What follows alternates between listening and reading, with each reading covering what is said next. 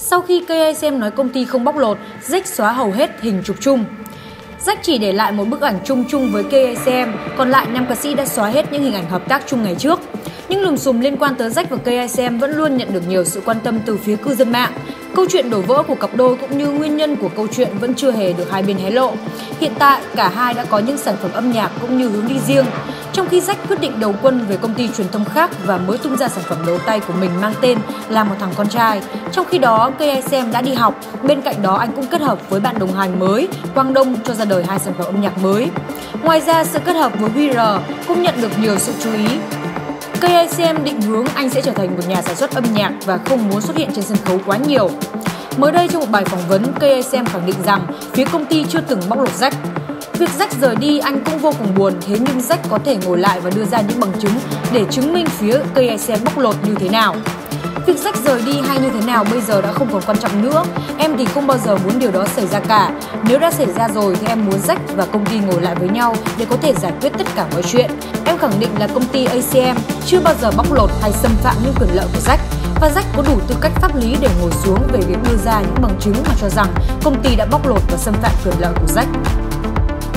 Bài phỏng vấn của KSM nhanh chóng thu hút nhiều sự chú ý của nhiều người và khán giả lại để ý tới động thái của Jack xem nam ca sĩ sẽ có những phản ứng như thế nào và cư dân mạng phát hiện ra rằng trên trang cá nhân của mình, Jack đã xóa hầu hết hình ảnh chụp chung với KSM. Theo đó, trên trang cá nhân của mình, giọng ca sóng gió chỉ để công khai khoảng hơn 20 bức ảnh của riêng mình cùng một số bài đăng. Rất nhiều bài đăng chia sẻ với các sản phẩm âm nhạc trước đó có kết hợp với KSM như Bạc Phận, Hồng Nhan, Sóng Gió, Em gì ơi cũng đã được cài đặt ở chế độ xem không công khai như trước. Loạt hành động trên của Jack thực sự khiến nhiều người tin chắc rằng lùm xùm giữa Jack và phía ACM là có thật và cả hai không thể nào tìm được tiếng nói chung.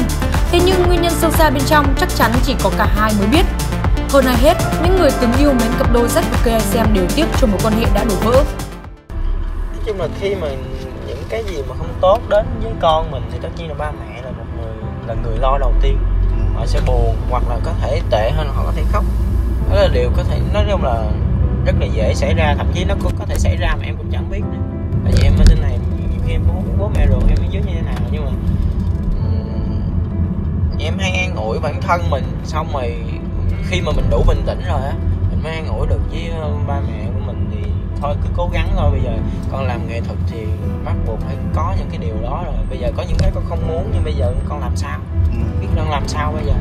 Con cũng không thể nào đi giải thích nhiều người hoặc là con chứng minh gì hết tại vì quá nhiều quá đông. Thì con thì con cũng có mình con nói chung là cứ, cứ cố gắng hết sức có thể mình sống mình cứ ngay thẳng mình đàng hoàng tử tế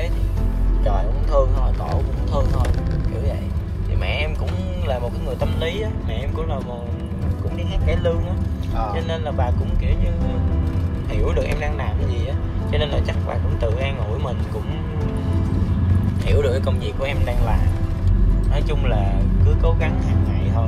Ừ, từ từ những cái gì nó cũng nói chung là nó sẽ qua nó có một cái giai đoạn nào đó ví dụ nó như tuần hoàn vậy đó nó trôi vậy vòng vòng vòng này. Chứ không lẽ mình cứ bị bấp bên hoài trong khi đó mình nhiều khi mình chả làm Thank